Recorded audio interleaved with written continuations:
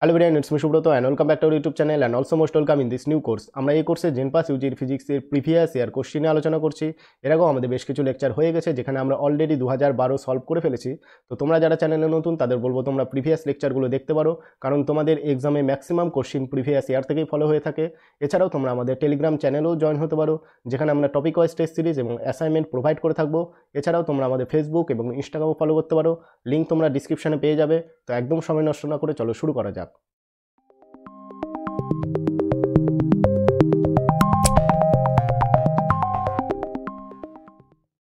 এর আগে লেকচারগুলোতে আমরা দু হাজার বারোর ফিজিক্সের পেপার অলরেডি সলভ করে ফেলেছি এবং আজ থেকে আমরা দু হাজার তেরোর ফিজিক্সের পেপার সলভ করার চেষ্টা করব এবং আজকের আলোচনা শুরু করার আগে তোমাদের একটি ছোট্ট কথা, তোমাদের যদি লেকচারগুলো ভালো লেগে থাকে তবে তোমরা কমেন্ট করে জানাতে পারো, এছাড়াও তোমাদের যদি কোনো রকম ডাউটস থেকে থাকে তবে তোমরা অবশ্যই কমেন্ট করে জানাবে, এছাড়াও তোমরা আমাদের লাইক এবং সাবস্ক্রাইবও করতে পারো, কারণ তোমাদের একটি লাইক এবং একটি সাবস্ক্রিপশন এবং একটি কমেন্ট আমাদেরকে আরও উৎসাহিত করে তোমাদের পাশে থাকার জন্য এবং তোমাদের সাহায্য করার জন্য। তো একদম সময় নষ্ট না করে দেখে নেওয়া যাক আজকের ফার্স্ট প্রবলেম ফার্স্ট কোশ্চেনটি দেখো, কি বলেছে? নিম্নলিখিত তাপমাত্রাগুলির মধ্যে কোনটি সর্বাধিক? দুশো কুড়ি ডিগ্রি ফারেনহাইট না এইটি ডিগ্রি ফারেনহাইট না জলের স্ফুটনাঙ্ক না দুশো তিয়াত্তর কেলভিন ওকে সো তোমরা যদি অপশন এ এবং বি লক্ষ্য করো, এখানে কি ইউজ করা হয়েছে? এখানে ইউজ করা হয়েছে ফারেনহাইট এবং অপশন ডি এ কি ইউজ করা হয়েছে? কেলভিন এবং অপশন সি এ কোনো ইউনিট ইউজ করা হয়নি।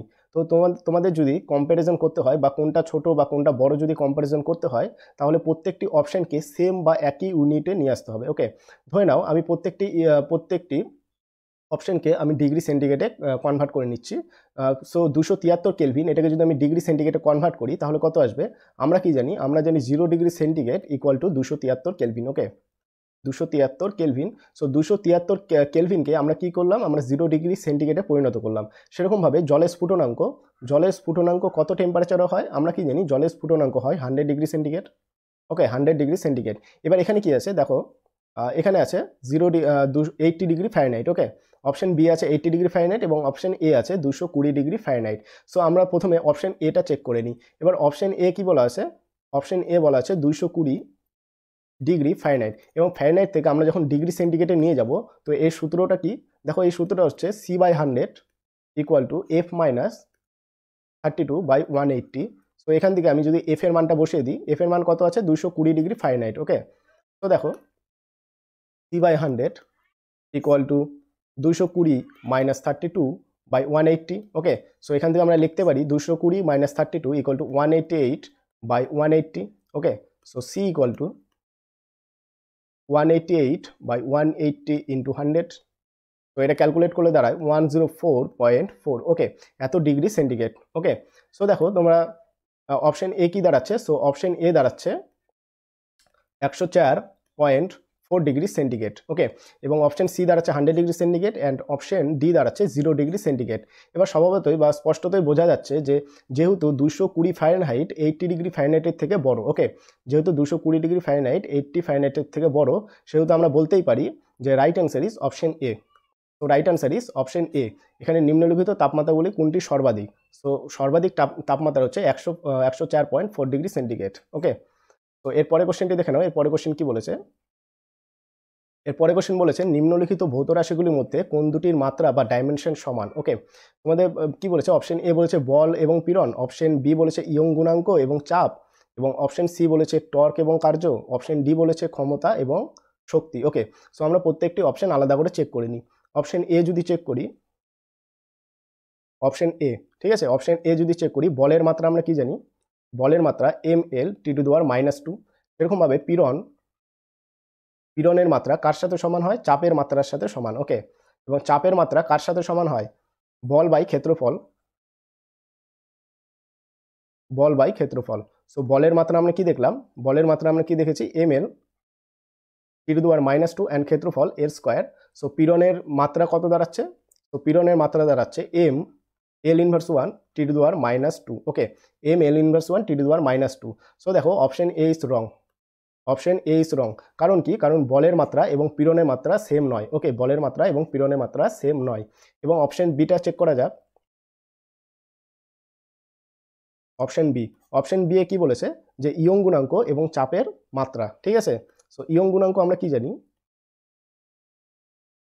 ইয়ং গুণাঙ্ক ইকুয়াল টু পীড়ন বাই পীড়ন বাই বিকৃতি। বিকৃতি। এবার পীড়ন আর চাপের মাত্রা তো সেম ঠিক আছে?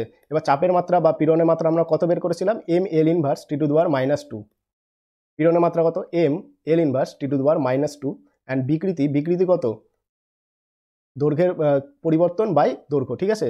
যেহেতু দৈর্ঘ্যে উপরেও দৈর্ঘ্য, নিচেও দৈর্ঘ্য, সেহেতু এই টার্মটার কোনো মাত্রা বা ডাইমেনশন হবে না ওকে সো ইয়ং গুণাঙ্কের মাত্রা কত দাঁড়াল?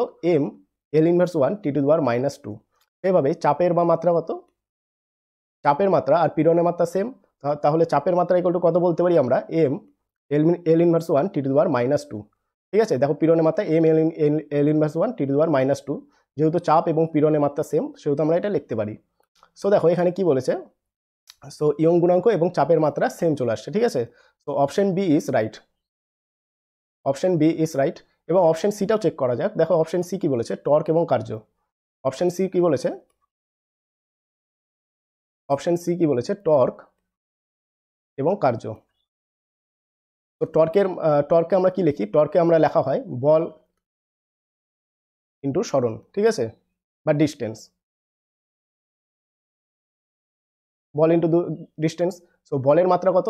এম এল টি টু দেওয়ার মাইনাস টু এবং ডিস্টেন্সকে লেখা হয় এল তো এখান দিয়ে দাঁড়াচ্ছে M L square T to দেওয়ার মাইনাস টু সেভাবেই কার্যকে আমরা কি লেখা হয়? কার্যকে লেখা হয় বল ইন্টু সরণ বল ইন্টু সরণ।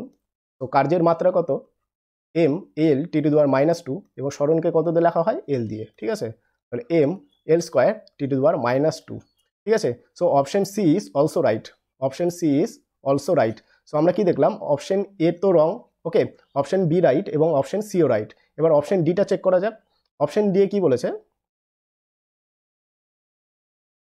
অপশন ডি অপশান ডি কি বলেছে? ক্ষমতা ক্ষমতা এবং শক্তি ওকে ক্ষমতা এবং শক্তি। সো ক্ষমতার একক প্রথমে দেখা যাক শক্তির মাত্রা কত। শক্তির মাত্রা, দেখো আমরা কি জানি, শক্তির মাত্রা এবং কার্যের মাত্রা সেম কার্যের মাত্রা সেম এবার কার্যের মাত্রা আমরা কত দেখেছিলাম? দেখো। কার্যের মাত্রা আমরা কত বের করেছিলাম? M L square T to দেওয়ার minus two okay equal to M L square T to দেওয়ার মাইনাস টু সেভাবেই ক্ষমতার মাত্রা কত? ক্ষমতা ইকুয়াল টু আমরা কি জানি? ক্ষমতা ইকুয়াল টু কার্য বাই সময়। ওকে সো ক্ষমতার মাত্রা ইকুয়াল টু কত দাঁড়াচ্ছে?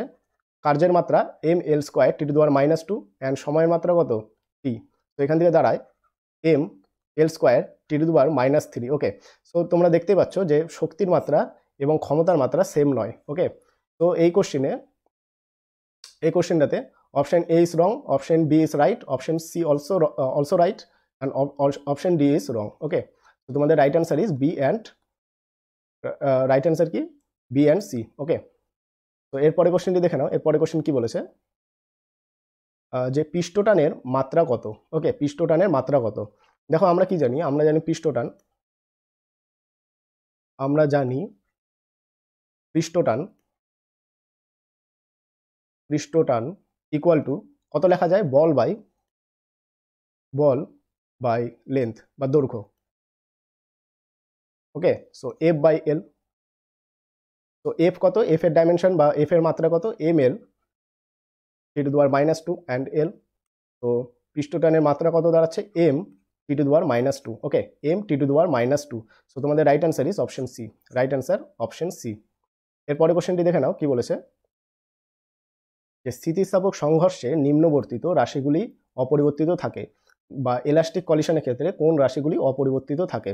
তো তোমাদের অপশন এ বলেছে গতিশক্তি অথবা ভরবেগ অপশন বি বলেছে গতিশক্তি এবং ভরবেগ অপশন সি বলেছে স্থিতিশক্তি এবং ভরবেগ, এবং অপশন ডি বলেছে স্থিতিশক্তি ও গতিশক্তি। সো তোমাদের right answer is option B okay right answer option B স্থিতিস্থাপক সংঘর্ষ বা এলাস্টিক কলিশনের ক্ষেত্রে গতিশক্তি এবং ভরবেগ অপরিবর্তিত থাকে। ঠিক আছে? দেখো বিষয়টা কি ঘটে? ধরে নাও দুটি বল আছে।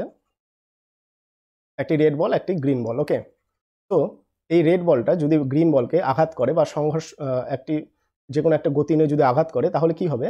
ধরুন গ্রিন বলটা এই দিক বরাবর ছুটে গেল এবং রেড বলটা সংঘর্ষের পরে পরে এই দিকে ছুটে আসলো, ঠিক আছে?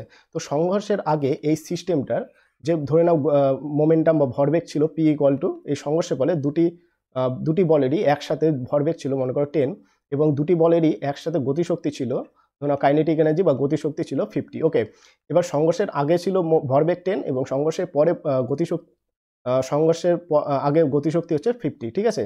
এবার সংঘর্ষের পর যে সিস্টেমটা তৈরি হলো, একটা এই দিক চলে গেল, একটি এই দিক চলে গেল এবং সংঘর্ষের পরে যে এই মোমেন্টাম আগে টেন ছিল, এই টেন মোমেন্টাম বা টেন ভরবেগ এই দুটো বস্তু দুটো বলের মধ্যে ভাগ হয়ে যাবে।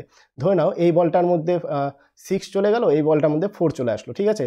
সো দুটির মধ্যে ভরবেগের যোগফল কত? P equal to six plus four equal to ten সেরকমভাবে গতিশক্তিরও দুটোর মধ্যে ভাগ হয়ে যাবে।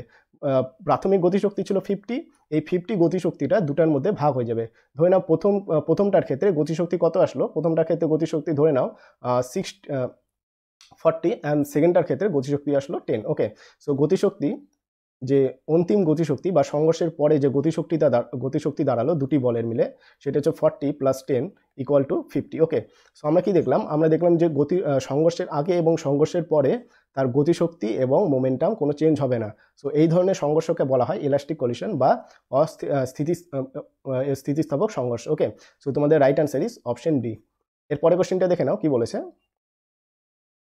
এরপরে কোশ্চেন বলেছে, আলোর উৎস আলোর উৎস অসীম দূরত্বে থাকলে তরঙ্গ মুখের আকার কীরূপ হয়? ওকে তো তোমাদের অপশন আছে, গলীয়, চোঙ্গাকৃত, উপবৃত্তাকার না সমতলীয়। দেখো, কোনো তরঙ্গ যখন সৃষ্টি হয়, সেটি কি করে? সেটি একটি দিক বরাবর ফ্লো হয়। ওকে ধরে নাও একটি তরঙ্গ বা এটা আলোক উৎস। আলোক উৎস। তো আলোক উৎস থেকে তরঙ্গ বের হচ্ছে এবং তরঙ্গটা দেখতে কীরকম? তরঙ্গটা দেখতে ঠিক এইরকম, ঠিক আছে? তো দেখো, আমি যে আঁকাচ্ছি, যে কার্ভটা আঁকাচ্ছি, ঠিক আছে? যে কোনো একটা মুহূর্তে যে কার্ভ তৈরি হচ্ছে, সেই কার্ভটাকে কি বলা হয়? সেটা হচ্ছে তরঙ্গ মুখ। ঠিক আছে? এটি হচ্ছে তরঙ্গ মুখ। ঠিক আছে? ধরে নাও কোনো একটি সময়। ধরে নাও টি কোনো একটি এই সময়ে T equal to five second সময়। টি ইকুয়াল টু ফাইভ বা কোনো একটি দূরত্বে তরঙ্গ মুখটা হচ্ছে এটা। এটা হচ্ছে তার তরঙ্গ মুখ। এবং এটি যখন সময়ের সাথে সাথে আরও অনেক দূরে চলে যাবে বা যখন এর দূরত্বটা বেড়ে যাবে, তখন এই কার্ভটা কী হবে? কার্ভটা দেখতে মনে হবে অনেকটা সোজা, ঠিক আছে? বা সমতল। দেখো, প্রথমে কী ছিল? প্রথমে একটু বেশি কার্ভ ছিল, তারপরে একটু কম কার্ভ তারপরে একটু ধীরে ধীরে এই কার্ভনেসটা কমে যাচ্ছে, ঠিক আছে? ধীরে ধীরে কার্ভনেসটা কমে যাচ্ছে এবং একসময় দেখা যাবে এই তরঙ্গটা বাড়তে বাড়তে কীরকম পরিণত হবে? একসময় দেখা যাবে এই তরঙ্গটা বাড়তে বাড়তে যেন মনে হবে যেন এটি একটি কোনো বৃত্তাকার অংশে কোনো বৃত্তাকার অংশ নয়, সেটি একটি কোনো সমতলীয় বা স্টেট লাইন ওকে সমতলীয় বা স্টেট লাইন তো এটা দেখতে অনেকটা কীরকম মনে হবে? সমতলীয়। সমতলীয়। তো প্রথমে কি দেখতে মনে হচ্ছিল? প্রথমে দেখতে মনে হচ্ছিল এটি একটি কার্ভ ওকে তারপরে, তারপরের যে ওয়েভ মুখটা ছিল বা তরঙ্গ মুখটা ছিল, সেটি আরেকটু কম কার্ভ তারপরেরটা আরেকটু কম, তারপরেরটা আরেকটু কম করতে করতে যখন একদম শেষ পর্যায়ে পৌঁছাবে, তখন এটি দেখতে কীরকম মনে হবে? দেখতে মনে হবে সমতলীয়। ঠিক যেরকম কোনো সমুদ্রে, ধরো তোমরা সমুদ্রের ঢেউগুলো কীরকম দেখতে লাগে? সমুদ্রের ঢেউগুলো দেখতে লাগে সমান্তরাল বা সমতলীয়। ঠিক আছে? এবার সমতলীয় কেন মনে কেন মনে হয়? এবং সমুদ্র ঢেউটা কখন তৈরি হয়? ধরে নাও, কোনো একটা পয়েন্টে সমুদ্রের মাঝে কোনো একটা পয়েন্টে পয়েন্ট থেকে ঢেউটা তৈরি হচ্ছে। এবং ঢেউটা তৈরি হওয়ার সময় সেটি বেশি কার্ভ ছিল এবং যত সে ধীরে ধীরে কিনারায় পৌঁছয়, তখন সে কি হয়? কার্ভনেসটা কমতে থাকে ওকে এবং কার্ভনেসটা কমতে কমতে একসময় কি হয়? এটি দেখতে অনেকটা স্ট্রেট লাইনের মতো মনে হয় ওকে স্ট্রেট লাইন বা সমতলীয় মতো মনে হয়। সেরকমভাবে কোনো আলোক উৎস যদি অসীম দূরত্বে থাকে মানে অসীম দূরত্ব মানে কি? এই দূরত্বটা, ধরে নাও এই দূরত্বটা অসীম দূরত্ব মানে অনেক দূরে থাকে, তাহলে আমরা এই আলোর যে তরঙ্গ তরঙ্গ মুখটা দেখতে কীরকম হয়? তরঙ্গ মুখটা দেখতে অনেকটা সমতলীয় মনে হয়, ঠিক আছে? সমতলীয়। ওকে সো তোমাদের right answer is option D তো right answer is option D সমতলীয়। তো আজকের আলোচনা এটুকুই আগামীকাল দেখাবে আরও বেশ কিছু প্রবলেমস নিয়ে। So tata.